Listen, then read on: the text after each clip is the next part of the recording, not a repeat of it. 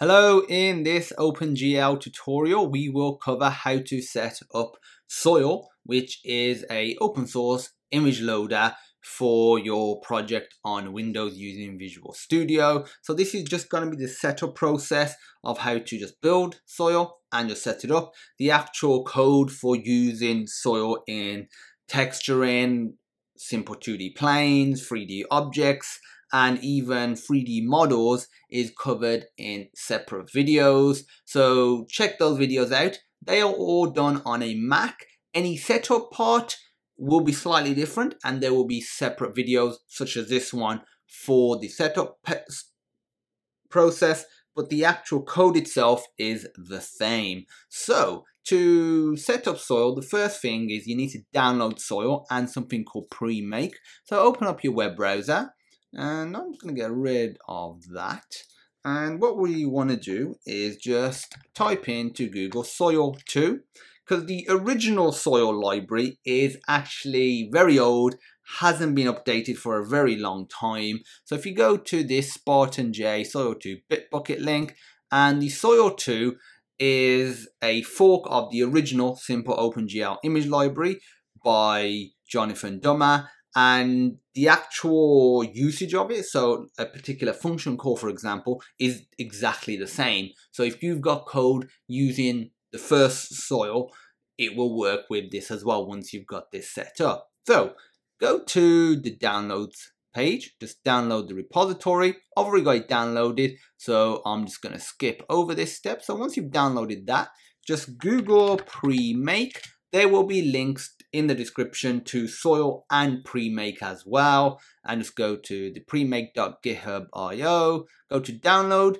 I would recommend it recommend downloading the latest stable branch unless you specifically need a feature from like a newer let's say alpha branch. So just download 4.4 and once you've got that what we can do is actually use it. So I've got a folder called soil and I've got a project right here. And this project has the code from the texturing video already in there. So if I open up my project and just let it load up. Now if I go to main.cpp, as you can see, we're trying to use soil files, which you can't find because we haven't placed them in our project yet. And we are using soil methods as well, like soil load image and soil free image data. So we'll be covering how to include all of that good stuff. First of all, go to where you've downloaded your files, extract both of them using something like WinRAR 7-zip, and let's extract that like so. Go to the premake directory, copy and paste this exe into the soil folder where you have all of these folders and files like the premake4.lua. Paste that here. Now open up command prompt. Now in here, you want to change directory to this location right here.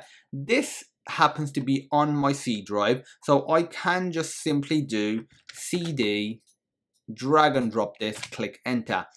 But if you have a folder that is on a different drive to the C drive, you can't simply, so for example, I know this directory here where all my downloads go to uh, is on the D drive. You can't simply put CD, and if I try and go to this games directory, it doesn't work what you have to do is first tell it to change to the D drive. To do that, just put the actual letter, which happens to be D in this exa example, type colon and click enter, and then that changes to the D drive. And if there has been a previous change directory command run for that particular drive, it will run that as well. But if let's say, for example, I did CD now, to this directory, that works a-okay.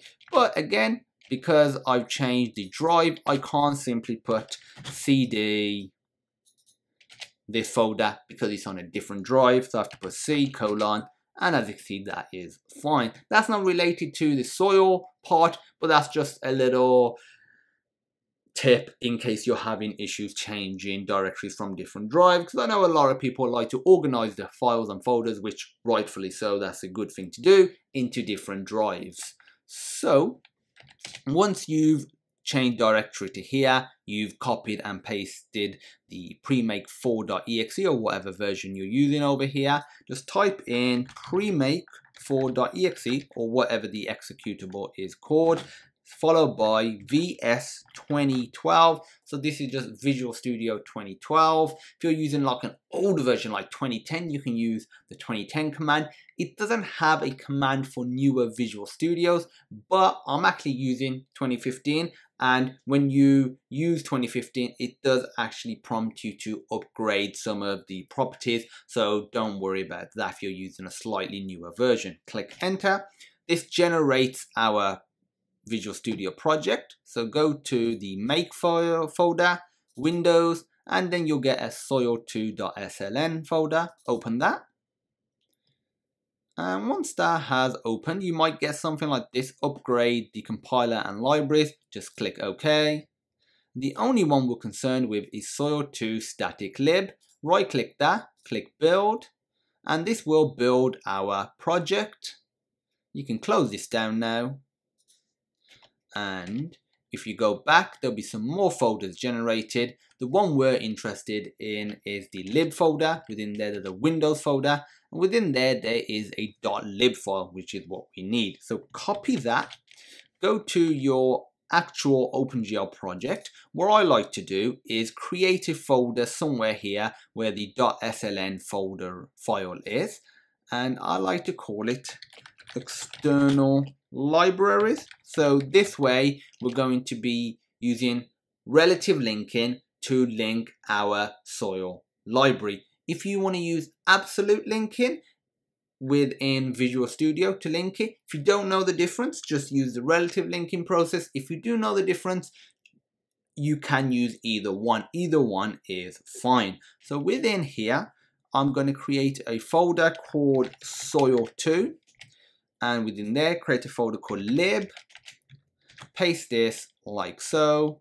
And now what we need to do is go back to the soil folder and copy this soil2 within source. And this contains all of the code which we can access in our project. So copy that.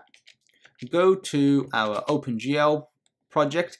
You can put it in the external libraries and for example, just create a folder here called include, and that's a very common standard. Because in the other OpenGL tutorials in this series, I actually just put it here and I didn't link it via Visual Studio as some sort of library. I'm just going to place it here within a folder called Soil2, but you can rename these whatever you want and you can link it as a library via the external library folder or just link it like this using quotation marks in your code when you do the hash include. Again, I'm just using this method because this is the method I use for the rest of the tutorials in this series. But if you need any help setting it up slightly differently, feel free to reach out on our educational platform, sonarlearning.co.uk. So once you've got all of this here, the only one last thing to do is link up this soil2-debug.lib. So to do that, open up your Visual Studio project, right click the project, go to properties, go to linker, general, and I've just got it set for debug, but just make sure if you are interested in the release version as well, that you set up the release version the same way. And if I just go to the drop down, click edit, and I already have it here so I'll get rid of this and I'll show you exactly what needs to be done.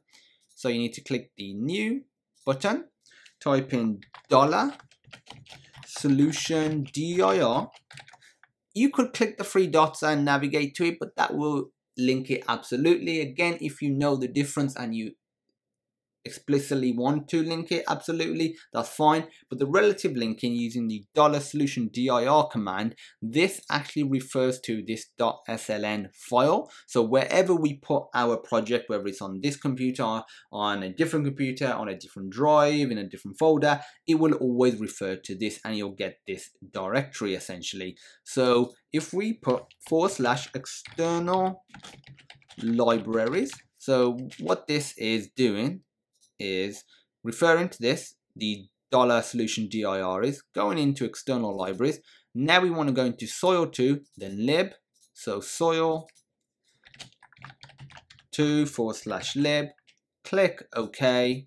Now we just need to link it into the input. So click edit. I actually already have it here, but the way you would do it, just on a new line, put soil2-debug.lib. Make sure this is named the same thing as the file here. So soil2-debug.lib. Click OK, apply, click OK again. And now if we scroll up, this error should disappear. Let's just put hash include to make sure we've linked it correctly. As you can see, the soil2 folder is there and we can access the files. The only one you really should be accessing is soil2.h and that covers everything else that you require. Like I said, if you are interested in re relative linking for the file, the actual code files as well, so something like using angle brackets, you can do that as well. If you need some help, feel free to reach out. This will disappear on positive once I actually build it.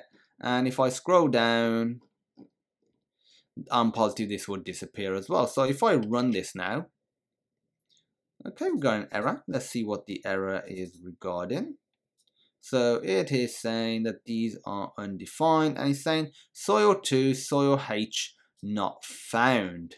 So let's make sure we have the correct structure. So if we go back to our Visual Studio folder, so we got soil 2, which is what it's named in there.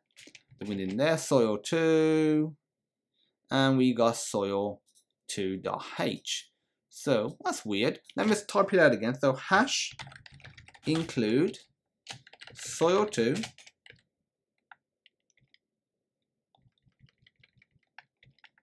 Ah, that was the problem. I had it within another soil2 directory. So if I were to actually cut this, into actually what I need to do within here if I cut all of these files into here delete this now if I were to undo everything back to the way it was and if I run it now this should be a-okay Yep, that's running fantastic. We got our texture showing. Like I said, this video isn't about showing you how to actually use the code for Soil. We've got a separate video covering that. And in other videos as well, we use Soil for stuff like applying textures to 3D objects, to loading in models and using multiple textures on the model as well. So this has just been a very simple tutorial on setting up Soil on Windows using Visual Studio. If you have any questions, feel free to post them on our educational platform, sonarlearning.co.uk. There'll be a link in the description to that, along with a link to our GitHub page, which has the source code from all of the videos in this series. There will also be two more links to Premake homepage and to the soil page on Bitbucket as well. Again, I recommend using soil 2, but the actual code is the same whether you're using soil or soil 2. So if you find a tutorial online created by us or somebody else that's maybe using soil 1, the soil 2 library will work as well. And as usual, thank you for watching. If you like the video, please give it a thumbs up, hit that subscribe button and leave us a comment. And we will see you next time.